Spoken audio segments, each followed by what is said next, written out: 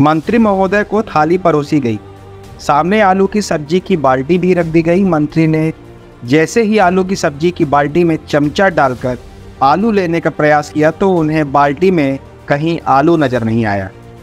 मंत्री जी बार बार प्रयास करते रहे, लेकिन आलू की सब्ज़ी में से आलू नहीं खोज सके। नमस्कार, आप देख रहे हैं नेट खबर।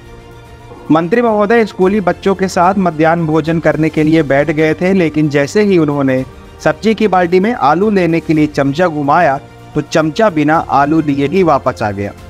मंत्री लगातार आलू की बाल्टी में से आलू निकालने का प्रयास करते रहे, लेकिन सफलता हाथ नहीं लगी। इसके बाद मंत्री ने चुपचाप भोजन करना शुरू कर दिया। हालाँकि उन्होंने मौके पर से जिला पंचायत सीईओ को मिड डे मील की गुणवत्ता को लेकर निर्देश भी दिए। दरअसल मोहन सरकार के कैबिनेट मंत्री प्रद्युम्न सिंह तोमर बारिश की वजह से हुए जल भराव का जायजा लेने के लिए डीआरपी लाइन में पहुँचे थे। यहाँ ऊर्जा मंत्री पीएम श्री स्कूल में पहुँच गए, जिस वक्त मंत्री स्कूल में पहुँचे, उस वक्त बच्चों को मिड डे मील दिया जा रहा था।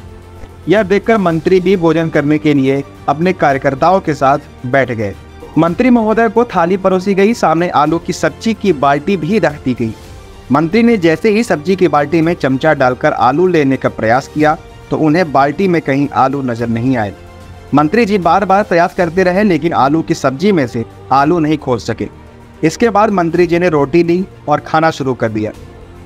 इसके साथ ही जिला पंचायत सीईओ विवेक कुमार को फ़ोन भी लगवा दिया। खाना खाते हुए ऊर्जा मंत्री ने जिला पंचायत सीईओ से बच्चों को मिलने वाले मिड डे मील की गुणवत्ता सुधारने के निर्देश दिए और फिर ऊर्जा मंत्री वहाँ से निकल गए।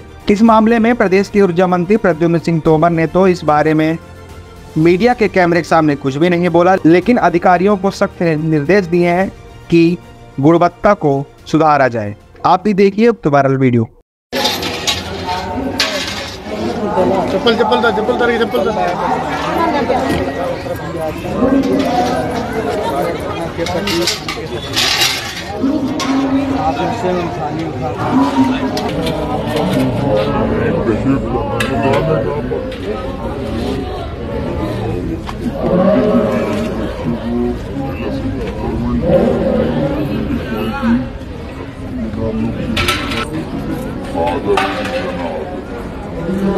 Father,